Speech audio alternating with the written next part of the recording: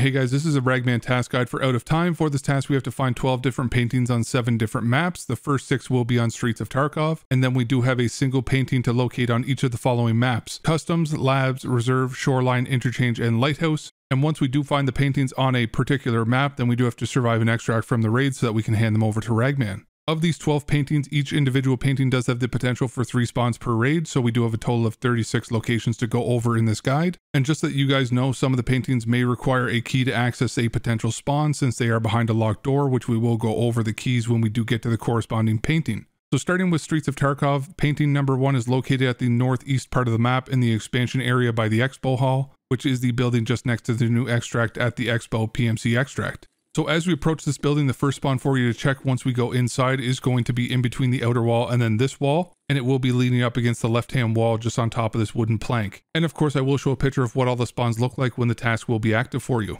After we check here, then we are going to go further left on the opposite side of the room where you will see blue barrels up against the wall. To the right of these barrels is going to be a pallet with boxes, and then behind that is where the second spawn for painting number one is. And then the final spawn is going to be a little bit further right just past this body bag, and then it's going to be leaning up against the cardwood box just directly behind the body.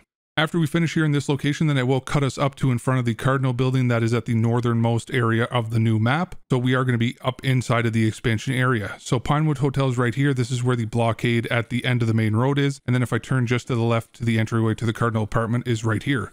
Once we go inside, then we are going to turn left and then you will see a staircase by the windows. We're going to head up this staircase to the third floor or the highest floor that you can go up to before the staircase is blocked. And then once you get to this floor, then we're going to head down the hallway and then take a right where you will come to a room on your left hand side. Inside of this apartment, you will have three potential spawns for painting number two. The first one is going to be on the wall immediately as you enter into this room. The second spawn is located in the bedroom, which is on the right hand side, so just to the left of this suitcase and up against the wall just above the phone. And then the final spawn is going to be on the far left room of the entrance, and it is behind a pizza box, which is on the floor on the left hand side of the room. After we finish checking all of these locations, then the third painting is going to be located inside of the Lexos car dealership on the second floor behind two locked doors. So we are going to need the car dealership closed section key, which can be found in the pockets and bags of scavs as well as in jackets or in drawers. And more specifically, you do have a high spawn rate on Kaban if you do happen to eliminate him and then loot him. Or you can also buy this key for around 600,000 rubles on the flea market. And just that you guys know, this key has now been switched to a single use key, so it is definitely quite expensive. And then you will also need the car dealership director's office room key, which you can also find in the pockets and bags of scavs as well as in jackets or in drawers. And you also will get this key as an initial equipment when you do accept the Peacekeeper task your car needs a service or you can always buy it from the flea market for around 50,000 rubles. So for this task, we do have to go into the Lexos compound and be aware that there has been mines added to around 90% of the surrounding area around the Lexos compound. So we do only have two access entry points to get into this area. And once we do go into the compound, then you do have to go into the Lexos building, up the stairs and to the second floor. And this is where you will see a graded door on your left. And this is where you're going to use the Lexos car dealership closed section key. After you open up this area, then you're going to go straight and then around the corner on your right hand side. And this is where you will find another locked door. And this is where you can use the car dealership director's office room key. Once inside the room here, then you will have three potential spawns, the first being on the left of the director's desk in between the two cabinets. The second spawn is going to be directly up above that, hanging on the wall. And then the third spawn will be on your way back out of the room on top of the boxes behind the upside down chair on the right side of the door. So after we finish at the Lexos dealership, then I will cut us over to the Concordia building area where we do have to go into the Concordia 34 apartment. Of the three potential spawns here, two of them are locked behind the Concordia Apartment 34 room key, and this key can be found in the pockets and bags of scavs as well as in jackets or in drawers, or it can also be bought from the flea market for usually around 30k rubles. And again, it is possible that you won't need this key since one of the three spawns is outside of this locked room, and I'll show you guys the spawns now. So I am here in front of the Concordia building and I'm just going to turn around and head into the entryway number two. Then we're going to head up these stairs on our right two times all the way up to the third floor and then we're going to continue in on the third floor and then turn left. Once you turn left, then you will see an open door down the hallway, and this is going to be the apartment 34. Once you go in through this door, then you will take an immediate right into the kitchen area, and then the first spawn is going to be in the left side of this water cooler on the ground. If the painting isn't here, then we will have to go down the hallway on our right to the second door, and this is where we can use the Concordia apartment 34 room key. Once you open up this door, then the first spawn inside of this area will be immediately inside the room on your right inside of a box on the floor. And then the third spawn for this area will be inside the bedroom that's on your left, hanging on the wall next to the yellow couch that has a guitar on it. The next area where we have to go to in order to find painting number 5 is going to be back into the streets expansion area at the school building, which is just next to check 15. So we are here in front of the school and going into this building, we're going to go through this door, which is on our right. We're going to run through this whole entire area and then up the stairs to the second floor. And we will enter into this receptionist desk room. Once we go through this area, then we will go into a boardroom. And on the right hand side of that room, there is a bookcase that was moved away from a wall to show a secret room entrance. Once you open up this door, then there will be three potential spawns in this one particular room. The first one is going to be behind the light fixture on the wall on your left-hand side when you enter in. The second spawn is going to be on the right-hand side of the wine rack on the far right of the room on the ground. And then the last spawn is actually going to be behind the door that you came in through on the left of the green suitcase. So you may have to shut the door in order to be able to properly get at it and in order to pick it up. And then I will be bringing you guys to the final location on streets, which will be at the brothel or Camelot building up by the Courtyard Extract. So I am up here just by the big cinema. We are going to be turning around and then heading down towards the Courtyard Extract, which is actually open in this raid since the green smoke is here. But instead of taking the extract, we will be going into the Camelot building, which is on our left-hand side. Once you go inside the building, then we will have three spawns for painting number six that are in here. The first spawn is going to be on the far left side in between the wall and then this couch, so you won't be able to see it unless you do walk up to it here like I do.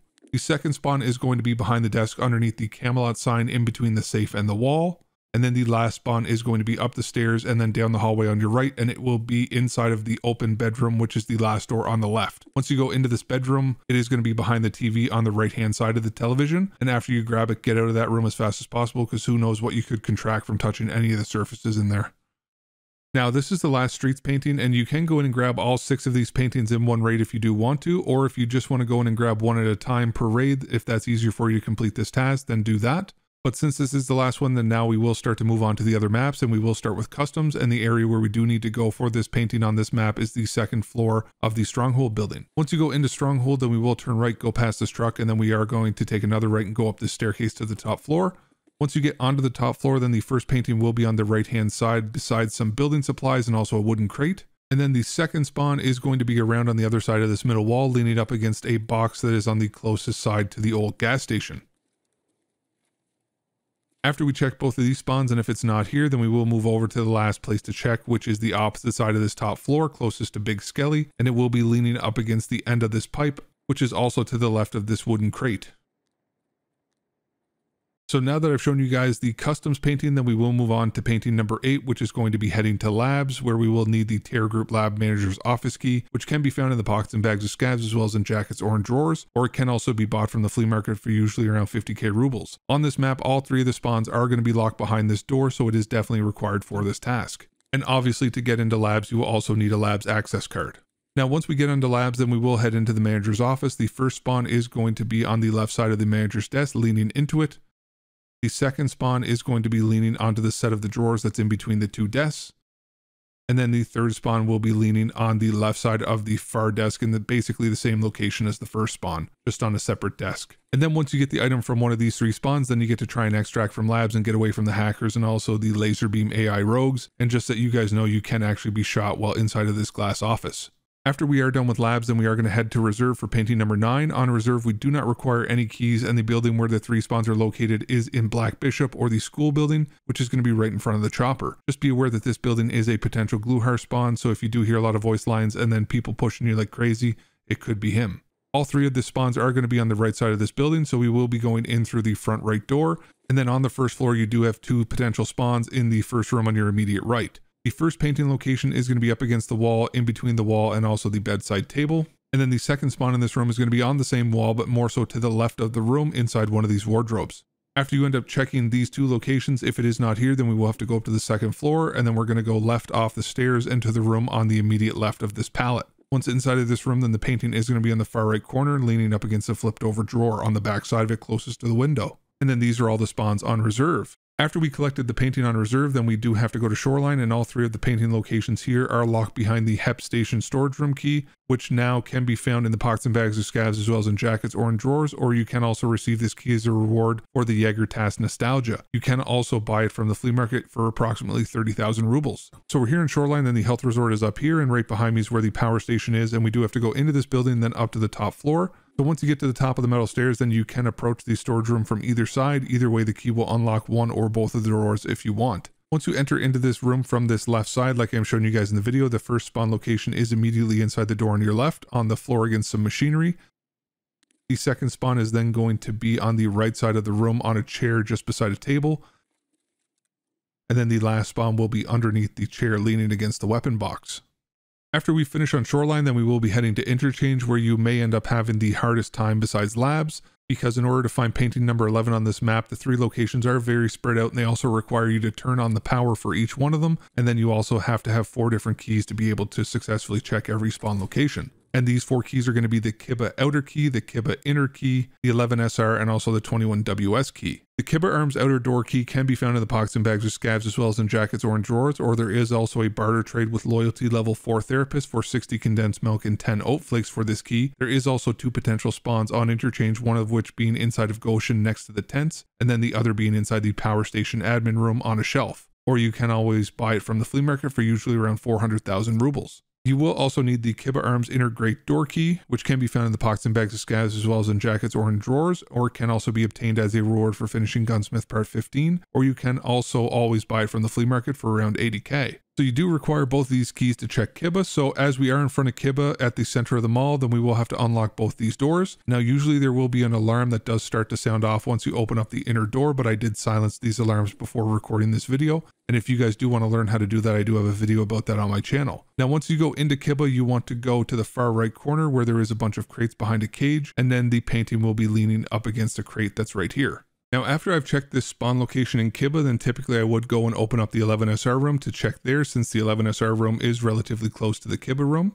And this 11SR key can be found in the pockets and bags of scavs as well as any of the bosses except for Reshala, or it can also be found on the goons or the cultists. You can also do a craft for this key at Intelligence Center level 2, or you can always buy it from the flea for usually around 120,000 rubles. So you do have to make sure that the power is turned on, and then we do have to go up to the urinal, which is on the top floor by Burger Town, in order to swipe our 11SR key and open up the safe room. Then we have to run back down to the hole in the floor, which is past Kiba, and the hole is located in between Rasmussen and Avokado. Once we go downstairs into the parking garage, we will be turning left and then heading towards the minibus and then the floodlight and just past this generator. You will see an open door on your left and this is where the safe room extract is located. Once you go inside of this room, then we are going to go to the very back left corner where the painting does potentially spawn on top of this gray generator. And after you finish looting inside of this extract room, then you can actually just extract and then reset if you want to. However, I will be showing you guys the final potential spawn location on this map, which is going to be the 21WS container. The 21WS can be found in the pox and bags of scavs as well as on any of the bosses except for Reshala, or it could also be on the goons or cultists, or you can always buy it from the flea market for usually around 60,000 rubles.